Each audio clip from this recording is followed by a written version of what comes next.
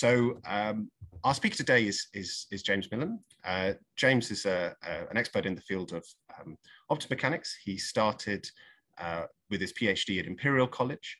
Uh, he then did his, uh, his, sorry, with his undergraduate at Imperial College. He then went to do his PhD um, with uh, Matthew Jones at Durham University, uh, working on ultra-cold strontium Rydberg atoms.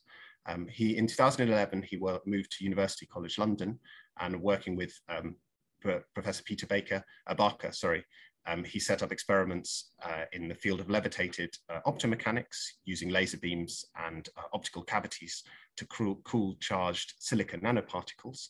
Um, and he also worked with Dr. Janet Anders uh, to conduct research in the field of quantum thermodynamics.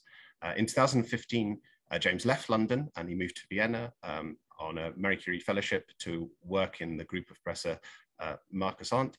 Uh, and there he did a number of exciting projects, um, including studies of rotational optomechanics of uh, silicon nanorods, um, which were, I think at the time and still are, the most frequency stable mechanical objects ever created, um, which is very exciting work.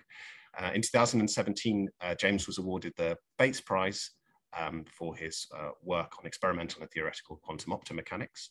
And in 2018, he moved back to London as a lecturer uh, in advanced photonics, founding the Levitated Nanophotonics Group uh, at King's College, London. Uh, today, James is going to talk to us about quantum experiments with microscale particles. And uh, with that, I'd like to hand over the floor to you. Over to you, James. You. Great. Let me just share my screen.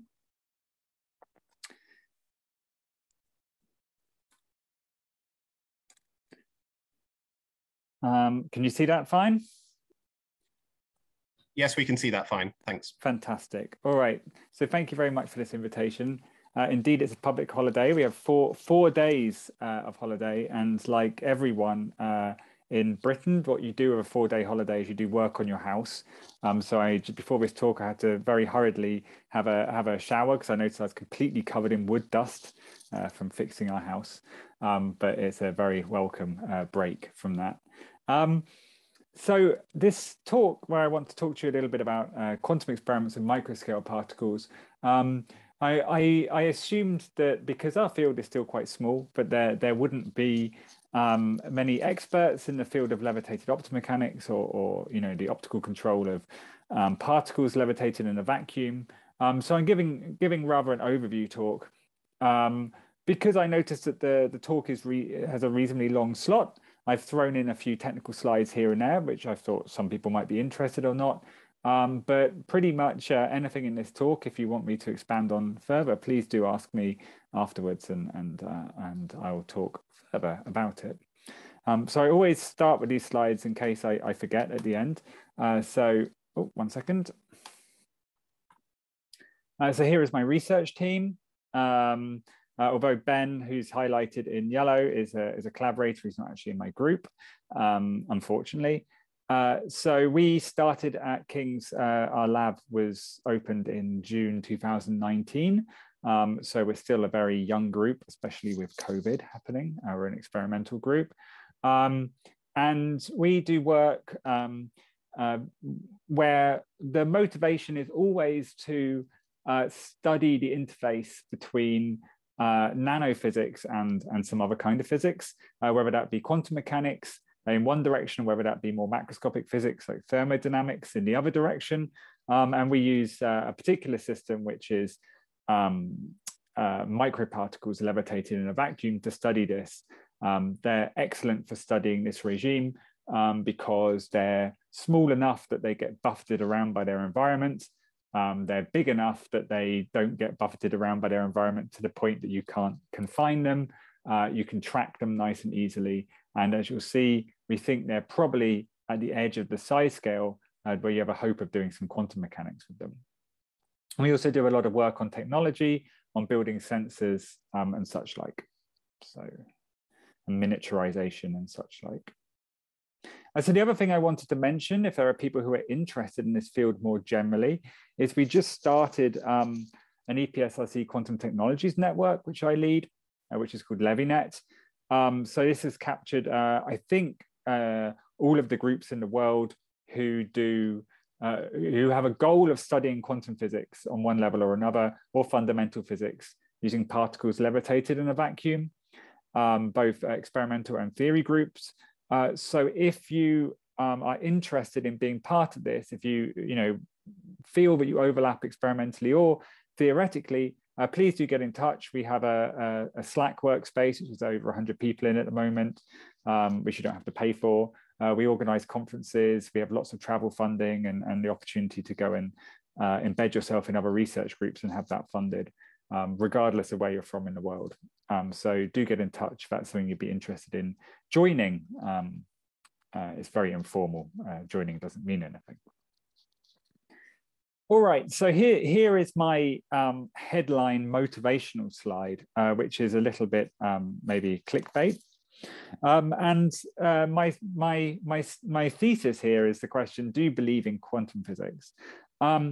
Which I think the more you think about it is a, is a less trivial question you might think.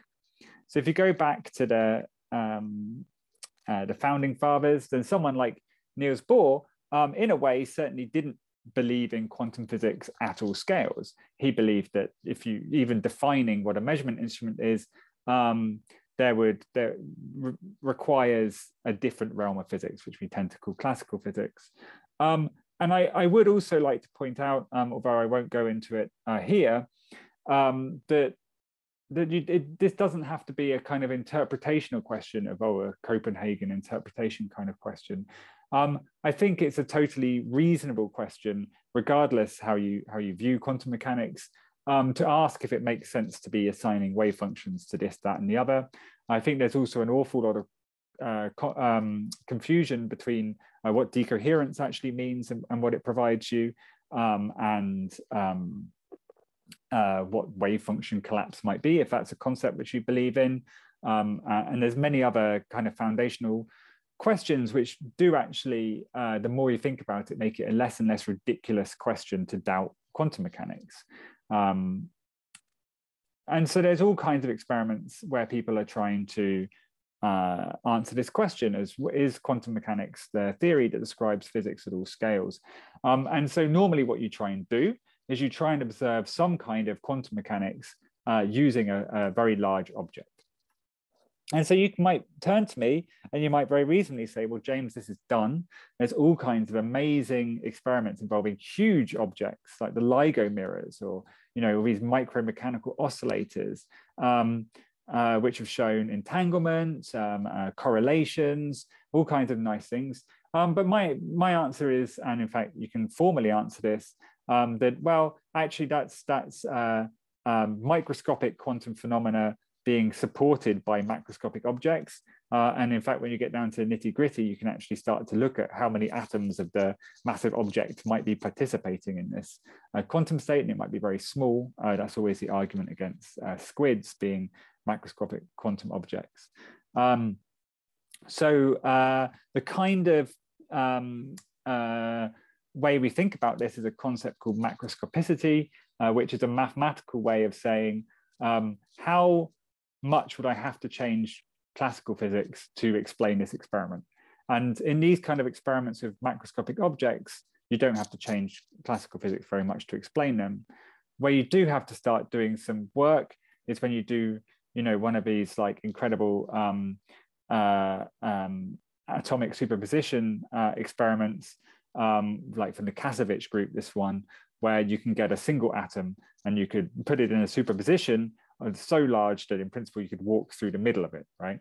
So that's a, that's a, a uniquely quantum state. The superposition is kind of the simplest quantum state you can't um, describe using classical physics, and and the the, the state is much larger than the object.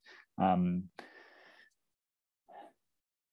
good. And so the largest object which um, uh, has been unambiguously shown to be in a superposition state, which is larger than the size of this object, um, is this uh, rather um, uh, a large molecule here made of about 2,000 atoms. It weighs uh, 2.5 times 10 to the 4 atomic mass units. Um, and that went through a matter wave interferometer. Um, and so what's important um, uh, about matter wave interferometers, um, and because they're very complicated, and you might go, oh, why do I have to do that? is of course it's always very hard to prove you've you've had a superposition state um, and interferometry is an unambiguous uh, piece of evidence that you're your object of study was in a superposition state at some point. I also think it's very interesting in these experiments that you do interference with the center of mass. Uh, so you don't need to worry about the 2000 atoms. And in fact, internally, these molecules are often extremely hot um, and that doesn't really matter. Um, I, I think that's a really overlooked and totally fascinating aspect of quantum mechanics is that, you know, we assign a wave function to the center of mass of this object.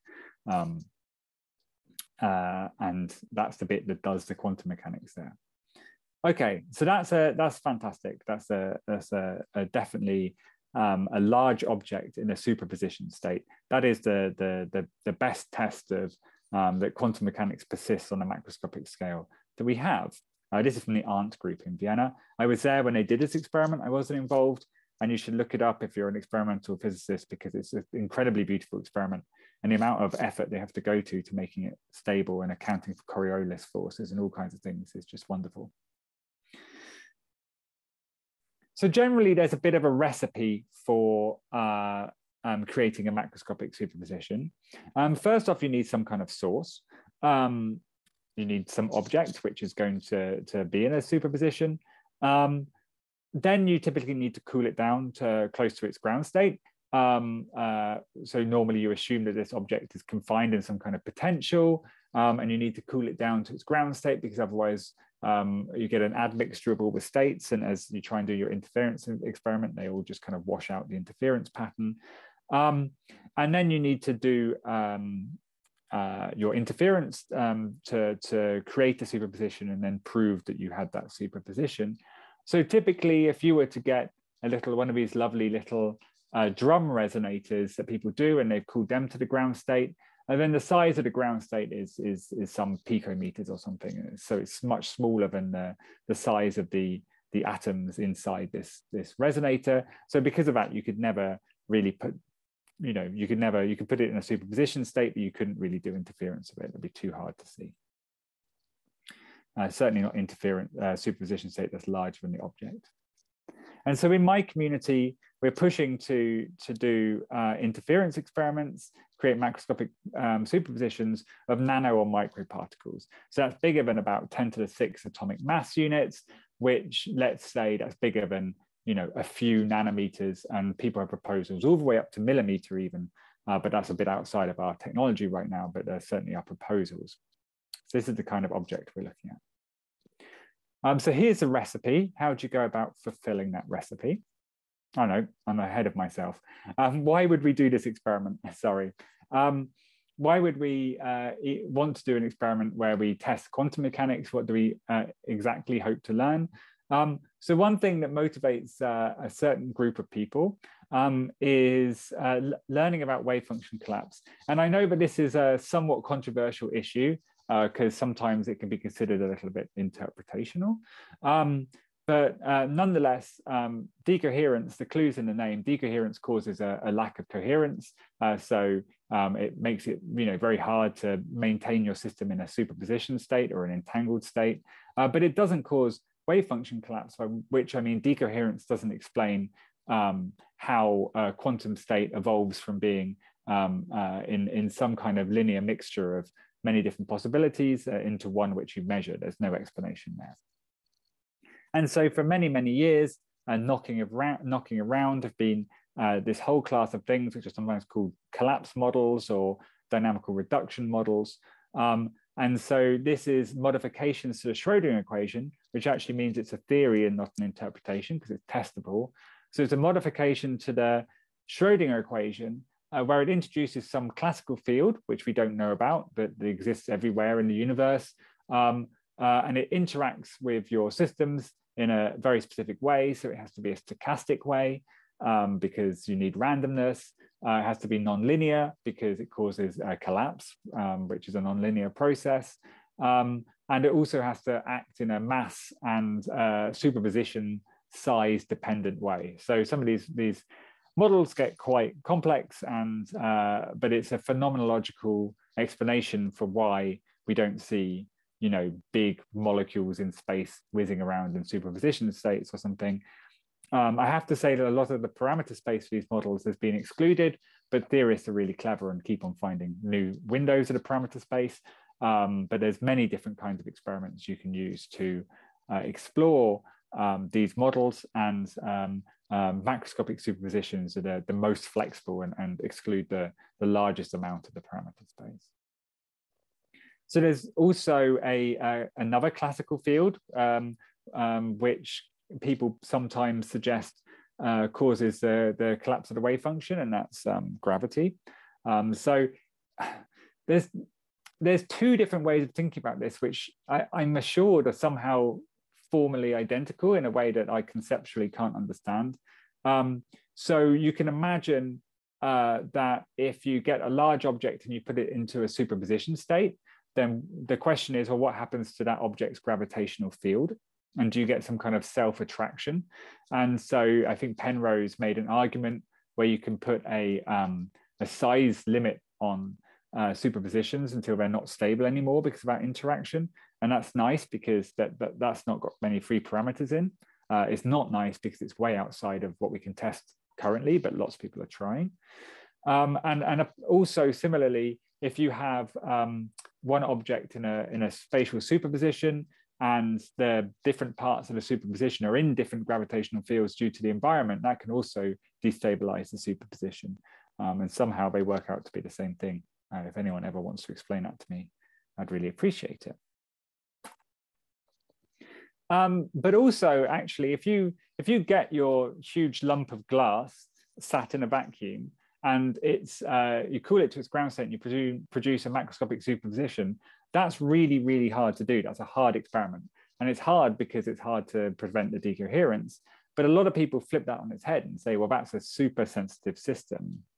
So there are proposals out there for really, really extreme force sensitivity, uh, for testing for measuring gravitational waves in a in a in a tabletop detector. I think tabletop means 100 meters um, uh, and even for uh, detecting dark matter. And so that often relies on instead of some kind of direct interaction between uh, dark matter and your macroscopic object, uh, what if you can infer that dark matter um, uh, um, uh, causing a decoherence this, this macroscopic state, which is far more sensitive.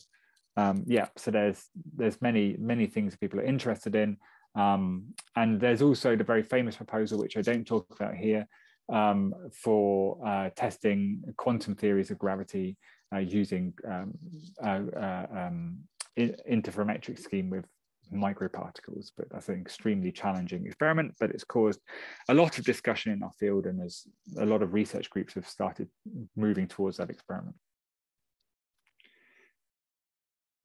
All right, so here is my, um, my recipe. Um, by the way, I've just realized, uh, Jack, that I have in no way anything within my vision that tells me what time it is. So please do give me some warning if I'm getting close to the end of my time. I, I will, um, no worries. Thank you.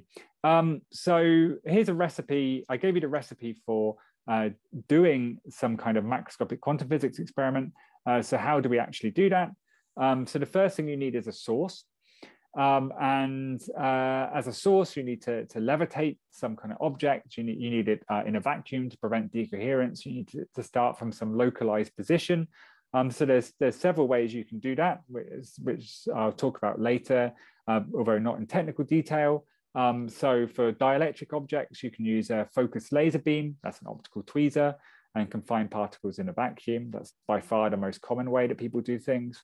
Um, if your particles are charged, which they'll always be a bit charged, um, uh, unless you deliberately try and neutralize them, uh, then you can use a Paul trap. You can use electrical fields to levitate your particles. Uh, and there's people, many people trying to use uh, magnetic fields to levitate particles in, in many different ways. It can be diamagnetics, it can be using superconductors, and um, it can be using uh, ferromagnets. There's, there's so many different schemes. Um, and experimental experimental progress is really starting to go ahead there because uh, uh, these magnetic uh, systems are very very low noise. Uh, so that that that's the the ways you would create your source. Uh, so cooling is a whole different matter. There's many different ways of cooling this particle. So all of those methods I just showed you, you, you confine your particle uh, it's in a harmonic potential, so it's a harmonic oscillator, so it's oscillating backwards and forwards, and you want to extract energy from its motion to get to the ground state. Um, so starting on the left, um, uh, the, the first proposed method uh, for doing this was with uh, optical cavities. So in 2010, uh, three different research groups um, proposed that you should be able to cool uh, uh, nanoparticles to the ground state of a harmonic potential using an optical cavity. so it's sideband cooling. I can, I can tell you about it in more detail if you wish, but you just engineer a, situation where your oscillating particle preferentially scatters photons into a higher energy sideband. And so where does the energy for that come from? Well, it comes from the motion of the particle, so it cools down. Uh, so 2010 is really when this field started, uh, which is nice, uh, round number. Uh, also, you can use feedback. As these objects are easily large enough to track, um, so you watch them move, and then you either uh, get some force that's proportional to velocity and push back against them. Um, so that's really common now. It's called cold damping. Um, so you can use electrical fields or you can use other laser beams, um, or you can modulate the, the potential depth itself. Um, that's called parametric feedback cooling. Um, and there are other more complicated um, uh, schemes. Uh, so, for example, this one on the right from the uh, from the Hétet group in Paris, where they uh, managed to cool the center of mass of a levitated nanodiamond by manipulating the spins of an NV center uh, within, which is very, very exciting. And indeed, uh, two of these methods, the cavity method and the feedback method, have both enabled cooling to the ground state. So this was the first um, example. So it was in 2020. So the group that did it was one of the, the first groups in our field. Uh, and so it took almost exactly 10 years to realize this. Um, and so it's a slight modification of cavity cooling where you don't pump your optical cavity, uh, but rather your particle is trapped in a laser beam and it scatters light into the optical cavity. Um, so the particle pumps the cavity and this is called coherent scattering. I believe it's been used for molecules anyway. And so this enabled um, the, the first uh, cooling to the ground state of a 150 nanometer diameter silica sphere. Um, so that's incredible if you think about it. Um, ground state cooling doesn't really prove much. And there's, there's a, as we'll see, there's a long way between ground state cooling and, and matter wave interferometry. Um, but to have a huge chunk of glass, um, and if you, if you illuminate these with visible light, you can see them um, uh, levitating there. And um, to cool it to the ground state of its motion, I just think it's incredible. And since then, people have managed to uh, cool to the ground state also using feedback, um, sometimes using very complicated schemes involving Kalman filtering, uh, sometimes not. Um, uh, and I just put in an extra slide because uh, something which I'm very interested in, I'll talk a lot more about, um, is not just spheres, but, but uh, anisotropic particles, um, because rotation is very interesting to me, because uh, rotation is uh, nonlinear. Um, and cavity cooling works equally well for um, uh, cooling the rotation of objects. So this is a slightly different scenario just because it's a nice video, but this is just imagining if you throw a cylinder into an optical cavity, all of the different degrees of freedom interact with the cavity field. So those red lines are the optical cavity field. Uh, the intensity of the red line is the intensity of the light in the cavity, the particle shifting the cavity resonance by its motion over time. Um, this particular example is imagining a particle flying through the cavity to create a cold beam. Um, but yes, you can, uh, uh, theoretically at least, you can cool all degrees of freedom of this object uh, to the ground state. Once when it's in the cavity, the rotation is linear actually, it's a, it's a harmonic motion, we call it libration. Um, and indeed, there's a paper on the arXiv from Peter Barker's group where they've, they've used the cavity and they've seen cooling in six degrees of freedom simultaneously. They're not to the ground state. So the final step is that you need to do some interference. Um, so you might imagine something like this. You have your cold uh, particle, um, you drop it through uh, some kind of grating. Now this wouldn't be a physical grating because the grating separation um, would be uh, smaller than the particle. Um, so it'd be an optical grating. Um, there's already lots of experience of that. Uh, you would generate some kind of um, uh, interference pattern, um, which you would then measure. So, so people imagine you deposit these particles onto a slide, um, and then you can use the methods like the Arndt group did for detecting uh, matter wave interferometry of molecules to, to measure them. There's also a nice way of thinking about why you need to do cooling, uh, because uh, if you think about uh, the double slit experiment, for example, um, then the effective um, size of your source, uh, your, your initial slit, um, is uh, related to the temperature. Um, so you can, by cooling it, you make a coherent source of particles. So there's lots of problems with this, um, uh, just beyond decoherence, um, which is a massive problem. Uh, a, a collision with a single gas molecule is enough to ruin this experiment. The main problem with the picture I have in front of you right there is that these are not atoms. Every single nanoparticle is different. So that makes imagining this kind of interference pattern very, very hard.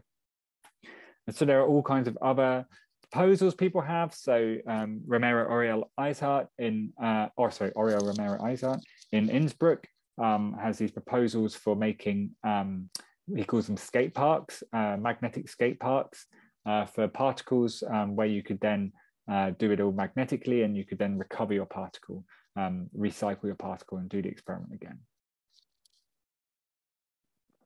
These experiments are looking so hard um, that a lot of people have, have, started thinking about putting them in space. Uh, so Rainer Kaltenbaek, who's at uh, uh, Vienna and also in Ljubljana in Slovenia, um, uh, for a long, long time has been working on something called the MAQRO proposal, which has been through various stages of ESA approval about putting a, a, a nanoparticle matter wave interferometer in space, uh, because then you don't have such a problem with free fall time. Um, it's hard.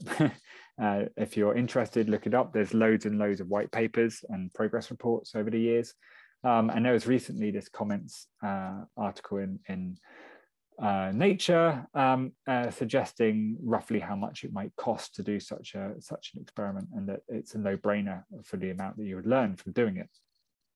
Of course, they would say that. Um, all right so why is it so hard um, and why do we have to do this matter wave interferometry? Because you don't have to you don't so well it's not the matter wave interferometry. Why do we need this diffraction grating? So you know in these experiments you have some source you drop the particle because you have to let its wave function expand enough to coherently illuminate your diffraction grating. That takes time and space and all that time the particle can decohere and interact with black body radiation then it has to interact with the grating diffraction grating you better hope that interaction doesn't cause decoherence which it will mm. so why do we have to do such complicated experiments um, whereas people who do atomic physics don't uh, and the reason is that atom interferometers um, rely on, on coupling to a discrete system, namely energy levels. Um, so this discrete system, this nonlinear discrete system allows you to do your interferometry. And we don't have that um, uh, for big chunks of glass. So we have to get our discreteness where we can produce our superposition by having this, this grating, which gives uh, discrete positions of our particle.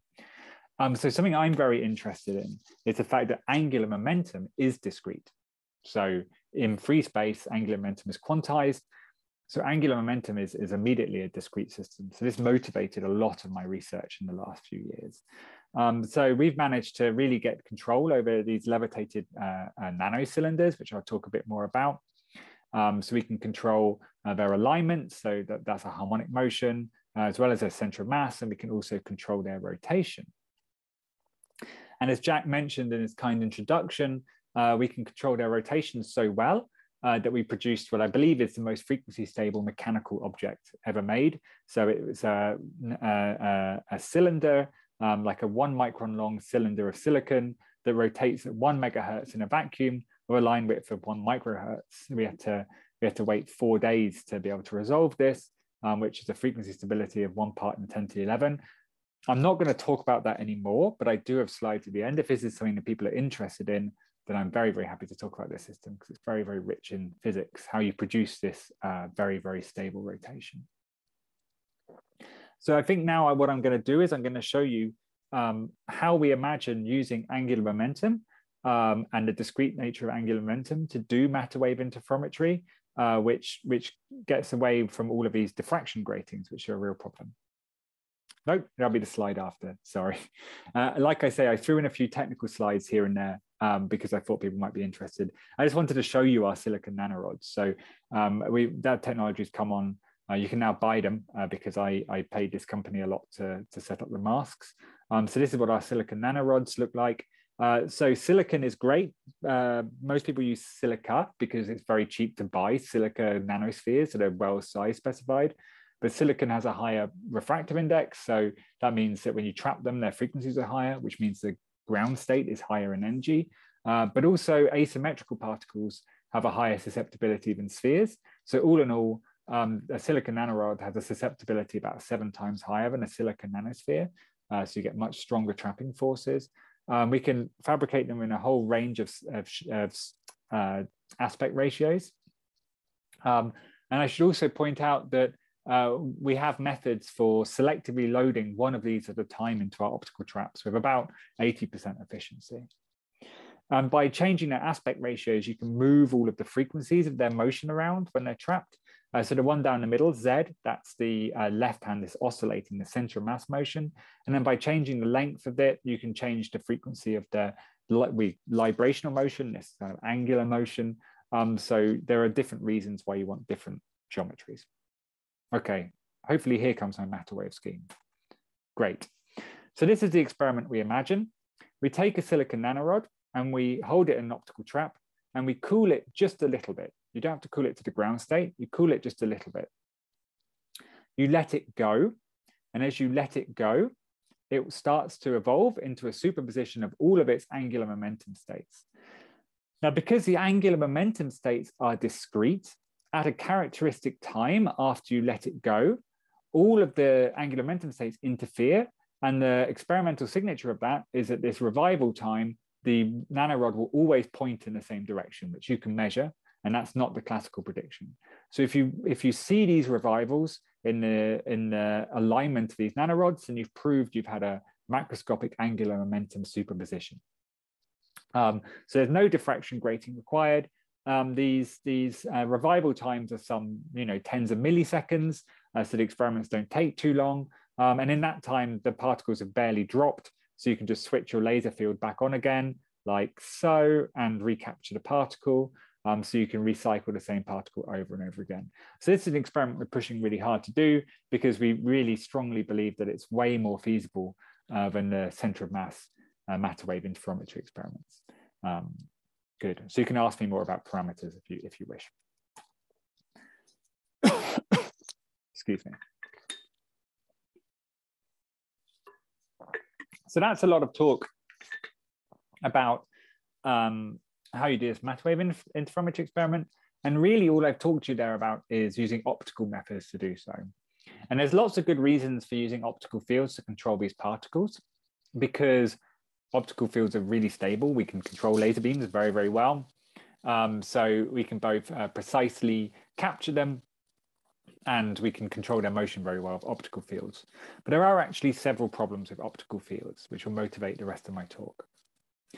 Um, so one is that um, actually the optical trap depth is very low. It's maybe 10,000 Kelvin, uh, which might sound like a lot, but it, you know, there's a lot of noise or uh, gas collisions which are statistically away from the mean, such that it's actually very, very hard to optically trap particles in very high vacuum. You have to do you have to do feedback stabilization on the particle motion to capture them, um, uh, to hold them in a vacuum, they just become really unstable. Um, and they interact with the gas around them in quite a complex way. So that's a problem. Also, actually, the interaction between light and a big chunk of silica isn't very strong at all, especially when you're doing optical cavity cooling. Uh, you know, these particles may be 150 nanometers in size. Uh, the beam waist of an optical cavity is some microns, maybe, you know, maybe even tens of microns sort of overlap between those two things is very poor. Uh, we did quite a lot of work in Vienna actually in, in, in fabricating uh, silicon microcavities. Um, so to have much smaller optical fields and then the coupling was much, much higher. And this also seems to have inspired the community who are trying to move in this direction now. And actually the ultimate uh, noise source in these experiments, incredibly, um, is the collision of photons with your chunk of glass, which I think is amazing. So it's photon scattering. So this uh, um, graph here, which is from the Novotny group at ETH, uh, what you see here is these are particles which are being continuously cooled in their three degrees of freedom, X, Y, and Z. And on the x-axis is the pressure. So when you're higher in pressure, you're higher in temperature. So the y-axis is temperature in phonons.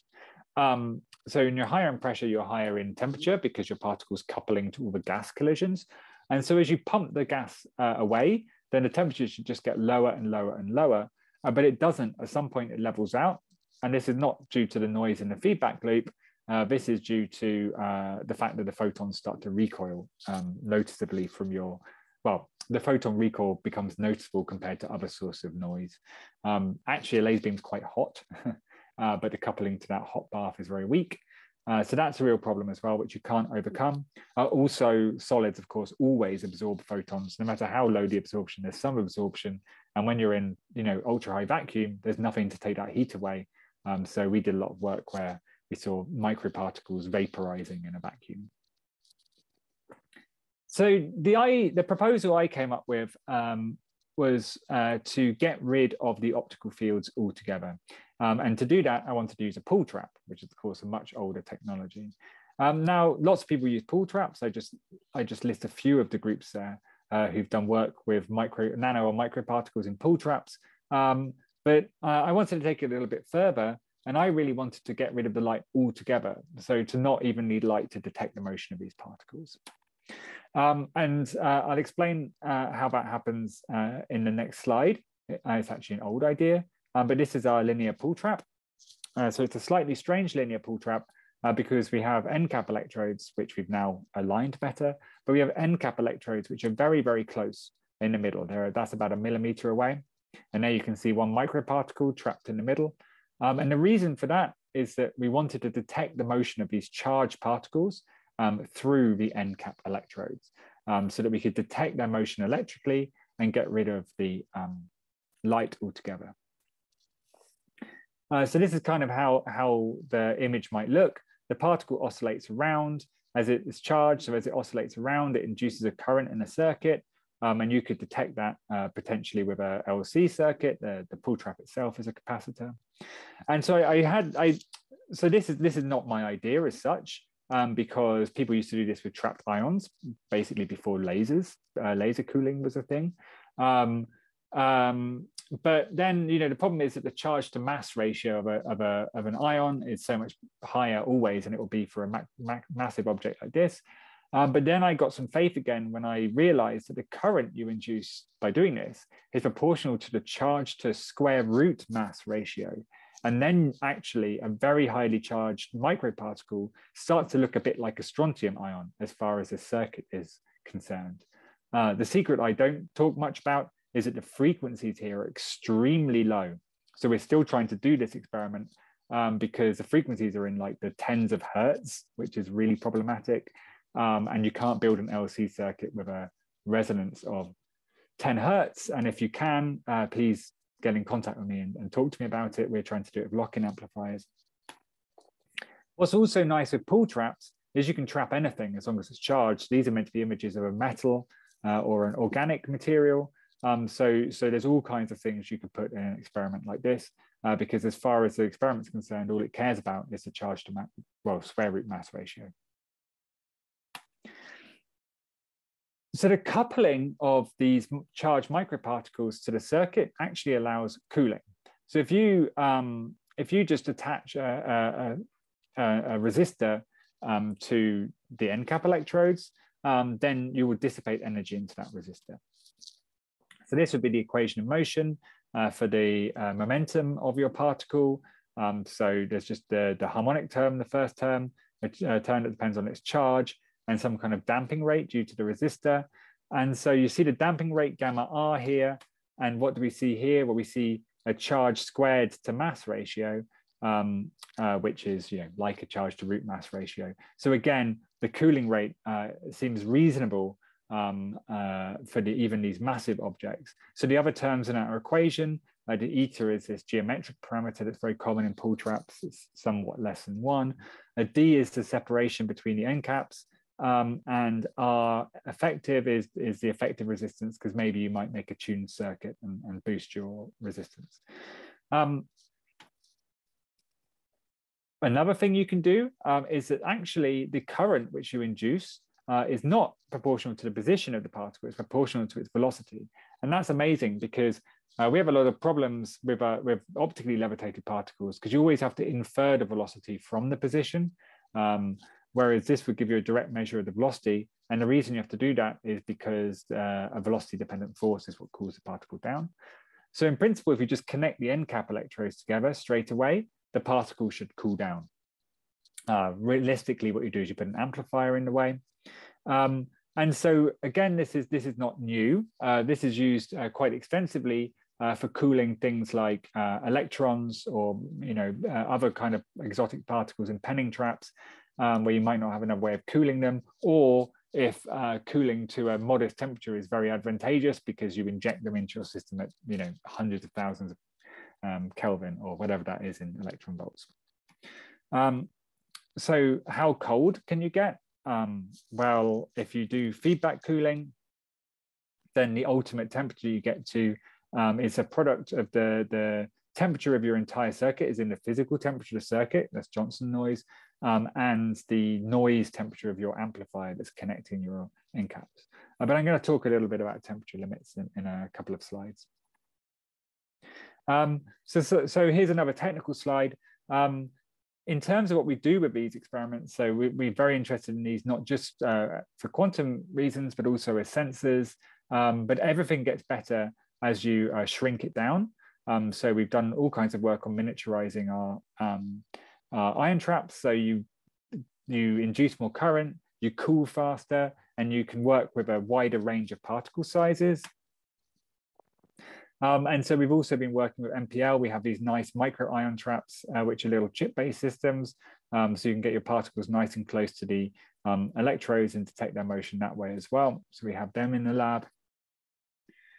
Um, so I also, on in terms of technical slides, I wasn't sure to, where to put this. I thought, but I thought people might be interested in it.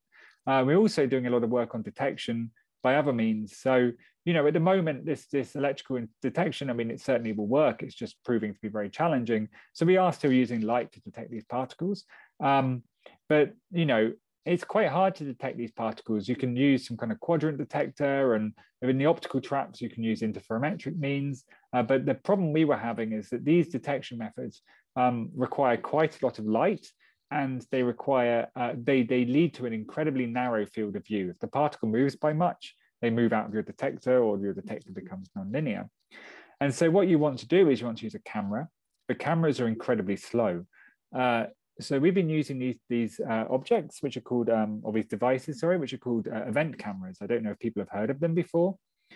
Um, so event cameras are cameras where um, the pixels only fire when there's a change in intensity on them, which crosses a threshold. So you don't, every frame, you're not downloading the entire frame of the camera, you just download the pixels where there's been a change. And so that means even using the full range of the camera chip, you can have very, very fast readout rates. Uh, potentially they're gigahertz, the chips are good to gigahertz. Uh, no one's developed the device around the chips yet that, that, can, that can measure at that. Uh, they have very low power consumption if you're building a piece of technology and or you want to put it in space. And they also um, uh, tend to have tracking algorithms built into them. So they tend to have microprocessors and they're designed for tracking objects. They're used in industry for tracking, say, people moving in crowds or um, things on a conveyor belt. Uh, so they're designed for tracking particles. So this is when we, this little video, we turn our camera on, it looks for our trap particle. Oh, there we go. It's found our trap particle and it puts a little box around it and says, okay, here's my little oscillating particle. So you get a funny video because it measures change in intensity. So it doesn't look like a particle moving necessarily. Um, but this is a real zoom in where you can see a particle oscillating backwards and forwards using one of these cameras. Um, and we believe that actually what we can do in real time is we can basically get two wires out of these cameras. One says X position, one says Y position, and then we can do feedback directly using the signal from the camera, which would be really, really nice. Uh, we've made good progress on that. That's just the power spectral density to show, show that you do detect the motion compared to, say, a quadrant detector. Um, yeah, so like I said, you have tracking algorithms built in it. So this is a very highly excited particle, and we've slowed this video down. You can see there's some red bounding box around it, which is an algorithm which is tracking the particle very, very uh, precisely. So we've collaborated with some people at ANU who use these event cameras for tracking astronomical objects. Um, yeah, so that's really good. And something which is super interesting for our field is you can track multiple particles simultaneously. Uh, so I think we've, we've managed to track about six simultaneously at the moment, which is our best. So you can have a whole crystal of charged particles and track individually the motion of each one in real time. Um, and there's all kinds of uh, applications for this. So people are really interested in this, uh, working hard on that. Okay, back to the talk. That was just a little aside I thought some people might be interested in. So we've got these charged particles, and let's imagine we get rid of our light and they're coupled to our electrical circuits. The question that you'd always get asked is, can we cool to the ground state? So I told you about this resistive cooling, where the particle just dumps its energy into a resistor. Well, the final temperature you reach there is very straightforward. It's the physical temperature of your resistor. It's because of Johnson noise. So if you put your circuit in a, a fridge, then your particle gets colder. Um, so um, uh, you know, you could put it in a good dilution refrigerator of, of a few millikelvin, um, but um, if you really push the maths, the highest frequency you could have in one of these Paul traps would be like 100 megahertz. I mean, you know, that's really pushing it. We're, we're at, like I say, a few tens of hertz, but in principle, it would be possible to design a Paul trap which would allow those oscillation frequencies. With the feedback cooling, it's looking a little bit uh, better. Oh, no, sorry, the five millikelvin, I'm sorry, the five millikelvin would be the ground state for a 100 megahertz oscillator, and that's not possible. Uh, but with the feedback cooling, uh, you've, because you don't just rely on the physical temperature of your circuitry, you also have this noise temperature of your amplifier. So if you use a SQUID as your amplifier or something, um, then you can get to the ground state for a 10 megahertz oscillator. And I'm sorry, 10 megahertz is just about possible in one of these Paul traps. Uh, 100 megahertz is not possible. Uh, so I would say it would be a very, very difficult way of going about ground state cooling, but in principle, you could all electrically cool to the ground state. Um, so all of the cooling rates and the, the, the signals you could detect and, um, and you know, how much you have to turn up your amplifiers all depend on how highly charged the particle can be. This is another technical slide I put in. I didn't know if people were interested. Um, so uh, this is showing the theoretical maximum charge you can fit on a dielectric object of a certain radius in number of charges. You can fit more positive charges on a sphere than negative charges because positive charges are heavier, so it's harder for them to leave the surface. Um, so the circle on there is the, the highest charge object I could find in the literature. Uh, and the red cross is kind of actually where we're operating at the moment. So we're not doing too bad. Um, and if you want to try and uh, charge them a bit more, um, here for your interest is uh, the smaller the object, the harder it is to charge it to its maximum because the field becomes larger. Um, but the, the field strengths you required are not so ridiculous. So if you have some very nice um, charge gun in your lab, uh, you could probably saturate the charge in these objects and then, you know, get a very, very strong coupling with your circuit. I'm going back to an old slide here as I start to finish off my talk. Um, so this is an old slide um, uh, from earlier in the talk where I said, well, why do we have to do these complicated matter wave interferometry schemes with diffraction gratings um, and the atomic physicists don't? And the reason is because you have discrete uh, energy levels in the atomic uh, um, systems. And then I said, well, maybe we could use um, angular momentum as a discrete system. Uh, but another option you can do is you can couple to some external discrete system or internal discrete system, like the people who work with levitated nanodiamonds coupling to NV centers. But you can also couple your object to some external discrete system to produce a nonlinearity. And so we have a proposal out for doing that. So we imagine we have some charged object in a Paul trap, and again, it's coupled to the end cap electrodes, uh, but now it's coupled via a Cooper pair box. So this gives us some discrete energy structure, and as we will kind of see, this um, allows you to do some quantum physics with your uh, nanoparticle. Um, so we artificially introduce this discrete uh, energy structure. So the motion of the particle as it moves between the end caps modifies the voltage drop across this Cooper pair box. Um, and the charge state of the Cooper pair box determines a force acting on the particle because there's some voltage on the end cap electrodes, which will exert a force on your particle. So now you can see that there's a coupling um, uh, between the charge state of the Cooper pair box and the motion of your particle. Uh, for those who are really interested, um, that's the interaction Hamiltonian. But what's important again is if you look at the coupling strength here, uh, we get the charge to square root of mass ratio. Um, so there's that magic number again, which all of a sudden means it's feasible to do this kind of experiment with macroscopic objects rather than just say ions.